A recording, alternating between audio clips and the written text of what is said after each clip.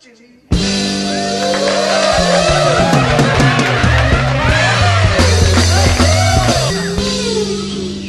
you hit me on the G now?